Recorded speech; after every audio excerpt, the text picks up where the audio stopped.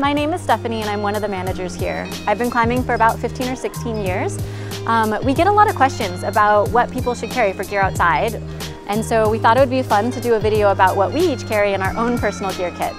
There are so many options out there and our retail buyers spend a lot of time talking to all different people to find out what gear works best for us as climbers. And so it's important that you know that these opinions that we'll be talking about are mine and what I find works for me. But you should talk to our staff, talk to friends, and find out what will work best for you. Um, so without further ado, let's go ahead and get started. And I'm gonna be talking about what I carry in my personal sport climbing bag. Okay, so we're gonna start with my bag, and I like to pack everything from lightest to heaviest so that it carries well when you're hiking. So at the top of my bag is my puffy jacket, which I think is an essential thing for every climber to have when they're climbing. I like this one because it has a wind and water resistant lining, which makes it a little bit warmer and also windproof, which is really great. It's essential because every climber, you get warm when you're climbing, but you get cold when you're not climbing. So if you're belaying or your, your partner is projecting something, you need a really big jacket that you can throw on. I like this one because it's nice and big and I can put it on over everything. In addition, it has great big pockets. And so on cold days, you wanna be able to put your shoes inside there and then you can zip it up and you actually have room to put your shoes and even a hot water bottle, which will keep both toasty so that when you start to climb, your shoes aren't cold. Okay, so next in my bag, I actually have my climbing gear. Um, and I actually store them in Patagonia's Black Hole packing cube. I think these are really great because they keep your gear really organized and they're dirt and abrasion resistant so you can throw them around. But as you'll see as I unzip them, they actually keep your gear really, really well contained. Okay, so inside my packing cube, I store all of my climbing gear. Um, and so the first thing we're gonna talk about is my harness and kind of my belay gear my belay device and whatnot. So the first thing is my harness. Um, I use the Petzl Selena harness. Again, my gear is kind of used because I wear it a lot. Um, I like this harness because it's really lightweight. It's really works great for sport climbing because of that, but it's comfortable. Um, in particular for me, and I'm short, I'm five foot two inches, I like the Petzl harnesses because they have a lower rise. So that means when I sit in it, the waist part doesn't roll up and kind of right up into my ribs. It is, again, doesn't have any extra bells and whistles, so it doesn't have, you know, adjustable leg loops. They do make harnesses that have other ones, but again, for me, this is what I find works the best. So after my harness, on this side, I store my belay equipment. So um, the first thing I have is my belay gloves, and I really like to use these leather ones. They're by Metolius, and the reason I like them is because they're very soft and supple. They keep my hands warm when it's cold outside.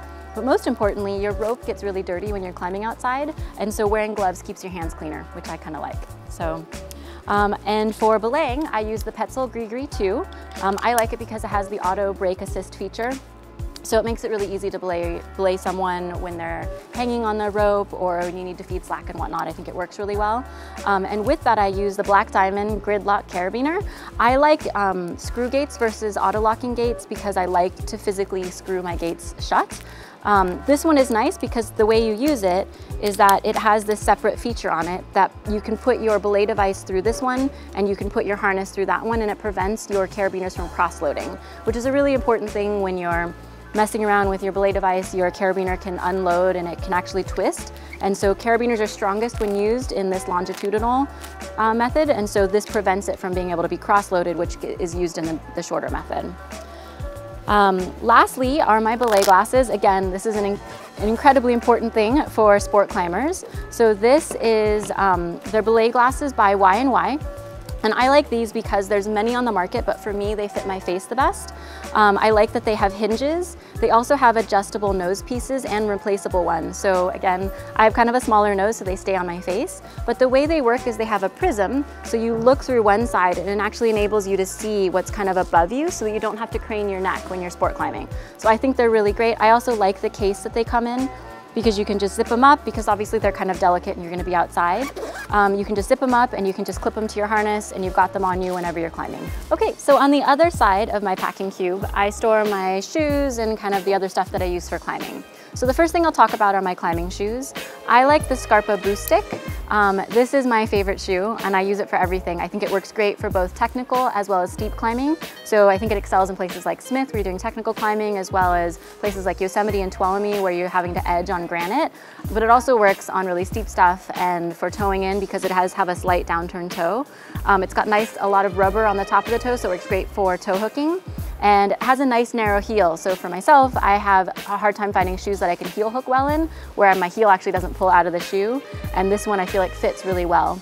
In addition, it has a stiffer forefront, which means that um, for knee barring, which I'm, i climb most often at Jailhouse, and we do a lot of knee barring, it actually provides a lot of support and structure, but it still allows you to smear. So it's all the things I think kind of make a great all-around shoe if you're looking for a more technical advanced shoe.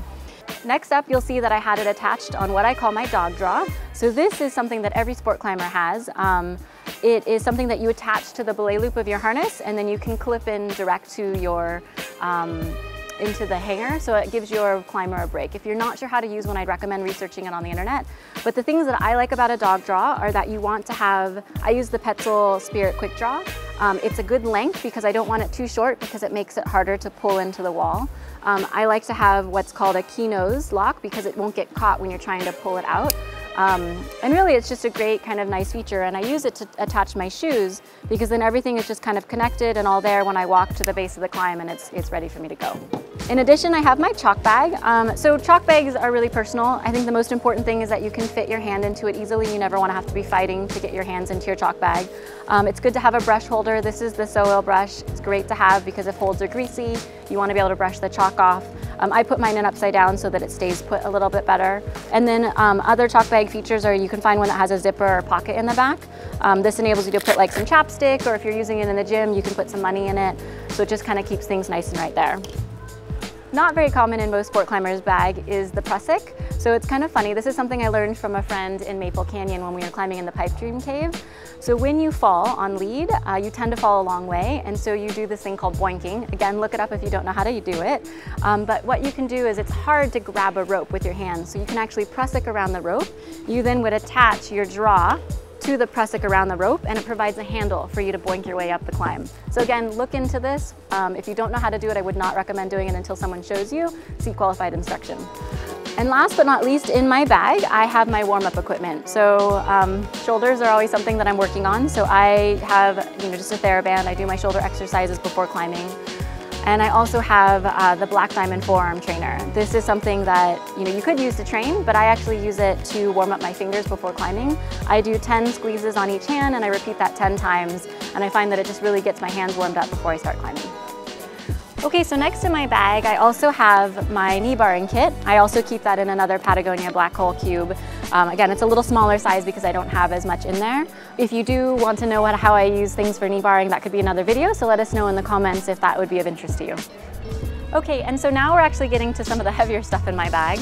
And I have to laugh because I don't actually always carry my draws and the rope together, but for the purposes of showing you what can fit in this bag, um, I have all of my draws here. And actually I have more than this, but this is what we generally bring in a, in a kit. Um, these are the Petzl Spirit draws, and they're kind of messy because I just throw them in my bag, but they're, they're attached through kind of another version of a prusik. But the thing I like about them, they actually have uh, a nylon dog draw, which is nice. They are um, just really great for sport climbing because they have really smooth action. Again, that key nose that I was talking about on both sides, the bent gate, they're really easy to clip. They also have different lengths. Um, these are older ones. They actually have newer models right now, but they um, come in different lengths, which is really great because sometimes you need longer and shorter draws. And so like a shorter draw would be if you're projecting something and you can't do a bolt, then you want a shorter draw so that you're falling near to where that bolt was. A longer draw would be an example of when maybe the clipping stance is a little bit lower than you'd like it to be, so you have a longer draw and you can clip it lower and you can still reach it. Um, so yeah, these are great draws. Um, again, draws, there's a ton of draws on the market and there's a lot of different varieties. I've used a bunch of different kinds. This is what I personally like. Um, but again, a lot of people have different opinions. Okay, and then what I always keep in my bag, and I actually, I'll show you how I attach it in my bag because there's a nice little feature, is um, what we, we lovingly refer to as the little stiffy, but it's actually the Kong um, extended draw. And so you can see it's actually stiff, so it actually doesn't bend. And the nice thing about it is, again, I mentioned that I'm on the shorter side. Oftentimes when hanging draws outside, I can't quite reach the next hanger from the clipping stance. And so what you can do is you can actually open the gate and it locks open, and then you can see when it waits it actually closes the gate. And it allows you, if you compare it to another draw, a significant distance because if I had to clip this draw, I would have to hold it here, but this draw, I can hold it here. So you can see it gives me another you know, six to eight inches on my reach. That enables me to um, climb up and through it. Now keep in mind, this is not intended to be climbed on. It's sort of like aid gear, if you will. So you would clip it, you'd clip it through, and then you would get up to the draw and you would replace it with whatever draw that you wanted. And in that case, I'd probably use a longer one because again, it, if the clipping stance was low, then this gets me a little bit closer to the draw that I actually want to clip. And then you would take this off and you'd put it back on your harness and continue on your way. Okay, so um, next to my bag I have my water bottle. I just like to use a basic one to keep. I find the Klean Kanteens hold up um, well against damage. You can see I've dropped mine a few times. Um, and then lastly, we have in my bag is our rope.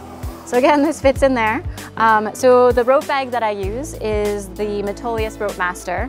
Um, the reason I like it is that it's got a really nice big bag and as well as a really big tarp to put your rope on. So with sport climbing, um, you just actually kind of shove it into a rope bag and then the rope bag puts it away into a nice neat feature.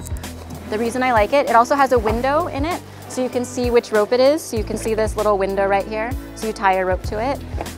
I always tie the top of my rope there so that I always know that I'm grabbing the top of my rope. Um, and then again, a nice big tarp. It keeps your rope on the cleaner side, though you can see that my rope's a little bit dirty. Um, and then the rope. So for the rope, we like to use the Sterling 9 to 80 meter. Um, we use an 80 meter because uh, well, we, are getting on longer climbs and we need to be able to have the length. And the 9.2 is nice because when you get to 80 meters, you're actually getting quite a heavy rope, so the 9.2 cuts down on the weight.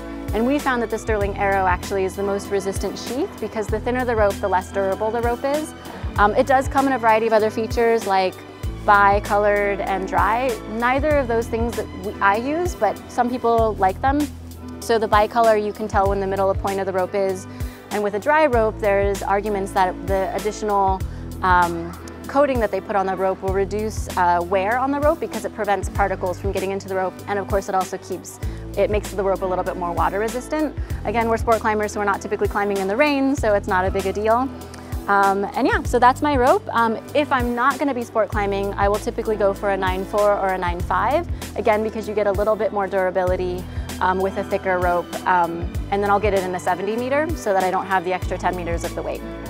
Okay, and so now we're gonna talk about the bag that I use. I love this bag. It's definitely great for sport climbing, so I would recommend it for this type of sport, and the reason is that for trad and for, for bouldering, you'd have a different bag, but for trad climbing, you'd want something a little bit more portable. Um, but the biggest benefit of it is that it opens up into a crash pad, which I'll show you in a second. Um, so it's got padded straps, it has a padded waist belt, it's really comfortable. Um, again, for my shorter stature, it fits really well, but my husband's also carried it. A couple features that I really like about it are that it has a sealed bottom, so you can see like when it opens up, it actually doesn't, it has a, it, it won't, you won't lose anything out of the bottom of it, which is really nice. Um, it's also adjustable in size, so it has this you know, Velcro part that you can actually make it wider or narrower depending on how much gear you need to carry, which makes it quite versatile. Um, and then when you open it up, you can see actually that you can lay it out on the ground and it provides a really clean spot for you to lay your gear down so you're not getting your draws and whatnot into the ground and getting dirty. And then I mentioned earlier that I store my little stiffy in there and these, they has little gear loops. And because this needs to stay straight, I actually just store it right there and it keeps it nice and flat so I don't bend it. Um, and then last but not least, it also has a removable um, a removable lid so that you're not sitting on your stuff. So I find it a really versatile pack and I really like it. It also, you can lay it against rocks and sit in it, which is really great. So it provides you a nice comfortable spot to sit. It's insulated because it's kind of thick with foam. Um, so it keeps you dry and clean and it's just a great, it's a great bag. okay, and so here's the lid of my pack and this is where you can store kind of any of your smaller stuff. And the one thing I wanted to show you is kind of my little various accessory things. And this is just a little bag I got. Um, but inside of it, I keep some kind of pretty important things to sport climbing. Um, again, a headlamp. You always want a headlamp because you never know when you're gonna get caught outside. You know, I've got sunscreen, chapstick, I have, you know, hand sanitizer. Um, I also keep a Sharpie um, in case you want to write anything, and then also climbing finger tape, which is really important. Um, and this is actually something that I'd like to talk about. This is every climber, if you'll notice, um, it's sandpaper. So climbers use sandpaper, which seems counterintuitive to when your hands, you want to keep your skin thick. But you'll notice when you're climbing that because of the abrasion on the rock, it can cause either uh, little pieces of skin to stick up or particularly what we call jug rash, which is where it folds your skin together if you've been hanging onto a hold. And you want to sand it down.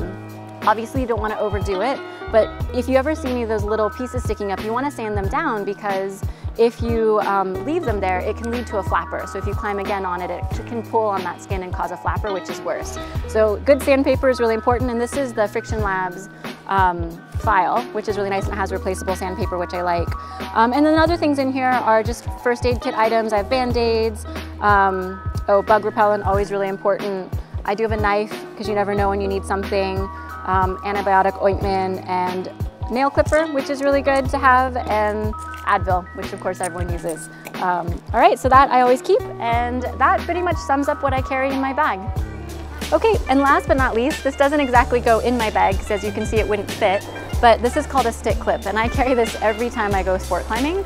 Um, it's actually the end that you purchase, and this is just a painter pole of whatever length and size you want, but this is called the super clip. It um, basically allows you to put up draws, take down draws, or to hang up a rope on the first draw, or second draw if you can reach it. Um, again, absolutely essential. I don't like falling and hitting the ground, so I think it's a great thing to put on the first draw and start climbing so you don't have to worry about it. If you want to see a video, uh, we actually made a tip video about it. You can see the link down below in the description. Okay, so this is kind of the stuff that I carry in my everyday climbing bag. I hope you enjoyed this video. If you'd like to see more videos like this or are interested in other types of videos, let us know in the comments below. Keep in mind these are my personal opinions and the things that I've found work for me when I go out climbing. Talk to your friends or talk to our staff and be sure to put together the things that works for you. Um, I hope you enjoyed this and again, I hope to see you outside climbing soon.